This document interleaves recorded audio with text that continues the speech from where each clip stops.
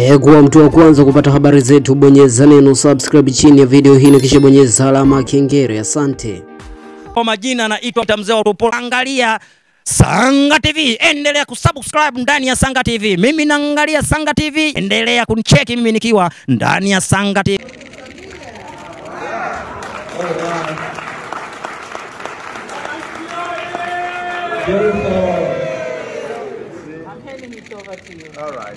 Presenting it to His oh. Excellency.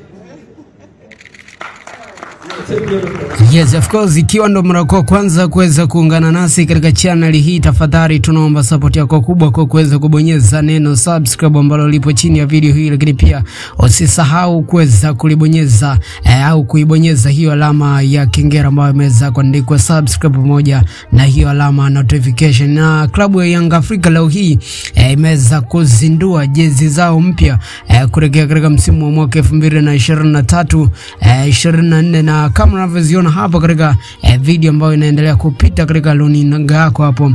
Eh, hizo ni jezi mpya za klabu ya Dar es Salaam Young Africa ambazo zimeweza kuzinduliwa eh, kule nchini Malawi mbele ya marais wawili wa nchi mbili tofauti. Nazungumzia rais wa nchi ya Tanzania ndugu eh, Dr. Samia Suluhu Hassan eh, pamoja na rais wa Malawi eh, na ukitazama hapo kuna jezi ambazo zimeweza kuandikwa jina la rais wa Jamhuri ya Muungano wa Tanzania, lakini pia rais wa Jamhuri eh, ya huko Malawi. Pasipo na shaka eh, unaweza kuona jinsi gani ambavyo eh, uzi huu ni upi, na kwa maoni yako unaweza kutuambia ni uzi gani ambao wewe umeweza kukubali, lakini kwangu mimi naona huo uzi mweusi bado naenda kuchukua nafasi ya kwanza, na ukiangalia katika msimu uliopita eh, katika mauzo uzi nambari moja eh, ambao uliweza kufanya vizuri katika sokoni ni uzi mweusi, na mwaka huu naona jinsi ambavyo uzi mweusi utaenda kusumbua na kuweza kufanya vizuri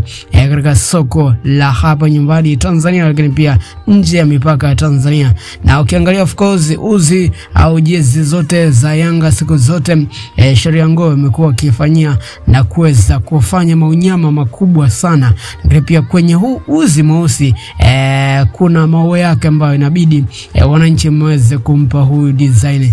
Ukiangalia jezi ya kijani design fulani kama ipo fresh, lakini pia jezi ya njano e, design fulani kama ipo fresh, lakini mimi jezi ya njano sijaweza e, kuipa asilimia mia kivile, lakini hapa kwenye uzi mweusi yes, uzi ni mzuri, uzi ni mkali na uzi unaweza ukavaa sehemu yoyote, lakini pia uzi ambao uh, huo ukitengenezwa na Yanga Afrika umekuwa ukiendelea uh, kutake over, lakini pia umeweza kufanya vizuri uh, hasa kwa washabiki, lakini pia warembo uh, wengi. Na ukiangalia hapo jana ambapo jezi hizi zilitangazwa na kuweza uh, kuzinduliwa soko la hapo jana uh, uzi mweusi ndo uzi ambao umeweza kufanya vizuri zaidi uh, kuliko uzi mwingine wowote e, hapa nyumbani Tanzania, lakini pia nje ya mipaka ya Tanzania. Hawa ni wananchi, hii ni Yanga Afrika ambao tayari wamekwisha kutambuliza jezi zao mpya za msimu wa mwaka 2023 24.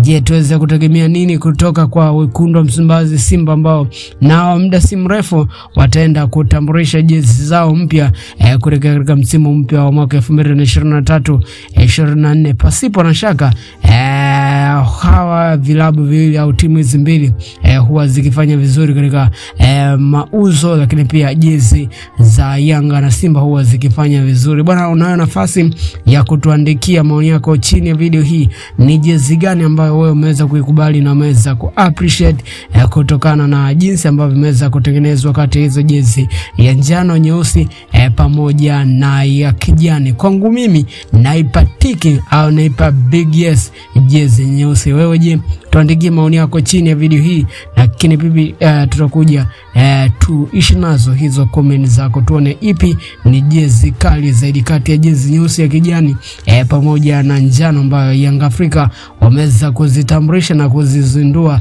uh, kuelekea katika msimu mpya wa mwaka 2023 24.